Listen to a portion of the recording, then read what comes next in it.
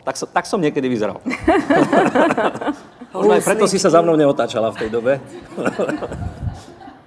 Ale podstatné je, že aj keď som teda nechcel hrať na tých husliach a bolo to také otravné, dokonca deti ma volali na základnej škole, že tekla. Keď ste niekedy videli ten seriál Včielka Maja, tak tam bola mhm. taká tekla, ktorá strašne vrzgala na tých husliach. Tak to som nahrával a daboval ja. No,